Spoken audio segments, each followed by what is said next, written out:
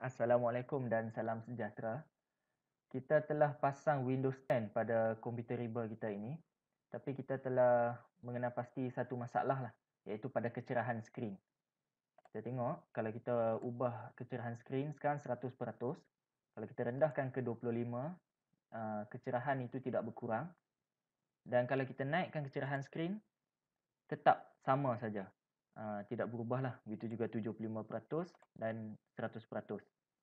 Jadi, kita telah buat carian di internet dan kita telah menemui satu cara.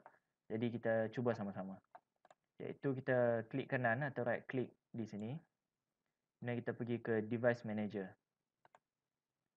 Akan terpapar paparan baru ini di bahagian Monitors. Ha, kita boleh lihat pada ikon ini.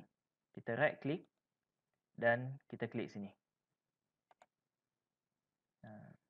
Jadi setelah uh, beberapa saat kita kita ceklah uh, dah elok atau belum. Kita ubah kecerahan.